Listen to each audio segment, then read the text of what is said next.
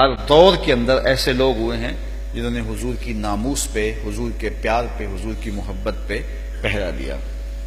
تو جب حضور علیہ السلام کی ناموس کے قانون کو کالا قانون کہا گیا اور ایک گستاخہ، جس کی گستاخی ثابت ہو گئی اور وہ عدالت سے سزا پا چکی تھی، تو اس کے سر پہ جا کے شفقت کا ہاتھ رکھتے ہوئے کہا کہ ہم تیرے ساتھ ہیں اور تجھے کوئی فکر نہیں ہونا چاہیے، ہم تیرے ساتھی ہیں اور تجھے جیل کی سلاخوں سے باہر نکالیں گے اور پھر مقدمہ درج کروانے کے لیے رجوع کیا گیا۔ ایسے شخص کے خلاف جس نے مسلمانوں کی دل آزاری کی اور احانت رسول کی حوصلہ افزائی کی، تو پھر چونکہ پاکستان کا قانون جو ہے وہ کمزوروں پہ اثر انداز ہوتا ہے، طاقتوروں پہ اثر انداز نہیں ہوتا۔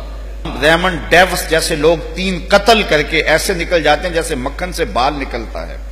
یہاں کتنی کتنی کرپشن کرنے والے مگر مچ جو ہیں وہ اس طرح بچ کے نکلتے ہیں کہ جس طرح کعبے سے غسل کر کے آئے ہوں۔ تو بالکل پاکیزہ ہو کے نکل جاتے ہیں اور پھر استثناء حاصل ہے صدر کو بھی اور گورنر کو بھی۔ تو قانونی چارہ جوئی بے بسی کا اظہار کر رہی تھی۔ پھر اللہ نے ایک شخص کو طاقت دی۔ وہ ذات کا تو سپاہی تھا، لیکن اس نے ایسا کام کیا کہ تاریخ میں ان مٹ نکوش چھوڑ گیا۔ غازی ممتاز حسین قاضی کے جنازے میں میں خود شامل ہوا ہوں۔ میں نے حج بیت اللہ کیا ہے اور میں نے حج کے بعد اتنا بڑا اعتماد زندگی میں نہیں دیکھا۔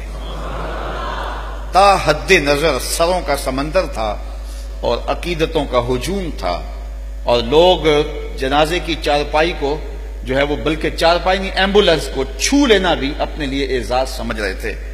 کہ اگر ہاتھ ہی مس ہو جائے تو یہ ہماری زندگی کی معراج ہے۔ یہ ہوتی ہے شان، یہ ہوتی ہے عظمت، یہ ہوتا ہے بانک پن جب حضرت امام احمد بن حنبل رضی اللہ تعالی عنہ آپ پر معتزلہ نے ظلم کیے اور حاکم وقت بھی ان کے زیر اثر آ گیا اور امام کو جیل میں لے جایا گیا، تو حضرت امام احمد بن حنبل پر جب کوڑے برسائے جا رہے تھے تو آپ نے کہا جو ظلم کرنے ہیں کر لو۔ آج ہم لاچار ہیں، آج ہم مجبور ہیں۔ اور سیاسی قوت، شوکت و حشمت، طاقت، فوجیں، جج سب کچھ تمہارے پاس ہیں۔ آج یہاں ہماری کوئی نہیں سن رہا، ہم لاچار ہیں۔ لیکن وہ بیننا و بینکم شہود الجنائز۔ لیکن تمہارے اور ہمارے درمیان فیصلے جنازے ہی کریں گے۔ لوگوں کو پتا چل جائے گا کون حق پر ہے اور کون باطل پر ہے۔ جب گورنر کا جنازہ پڑھا جانے لگا تو اس وقت ان کو جنازہ پڑھانے والا امام نہیں مل رہا تھا۔ شاہی مسجد کے امام سے کہا، اس نے کہا، جناب، میں نہیں آ سکتا۔ گورنر ہاؤس کے امام نے کہا، نوکری چھوڑ سکتا ہوں، یہ کام نہیں کر سکتا۔ داتا صاحب مسجد کے امام کو کہا گیا، اس نے کہا، یہ غالق میں اپنے منہ پہ کیوں ملوں؟ تو ایک سو لوگوں کے ساتھ رابطہ کیا گیا۔ انہوں نے کہا جی ہم جنازہ پڑھانے کے لیے تیار نہیں، آمادہ نہیں ہے اللہ اکبر۔ پھر ایک شخص کو پکڑ کے لایا گیا، لیکن اس نے شرط پہ جنازہ پڑھایا کہ مجھے اس کے بعد غائب کر دینا، مجھے پاکستان نہ رہنے دینا۔ اور اس کا جنازہ تین سیکنڈ میں پڑا گیا۔ اور پتہ ہی نہیں کس نے پڑھا، کس نے نہیں پڑھا، وہ کیا جنازہ ہونا تھا۔ اور غازی ممتاز قادری کا جنازہ ابھی گھر پہ تھا تو گراؤنڈ کھچا کھچ بھرا ہوا تھا۔ کہاں کہاں تک لوگ تھے؟ اور آج وہ تصویریں بولتی ہیں، میڈیا نے تو نہیں دکھایا۔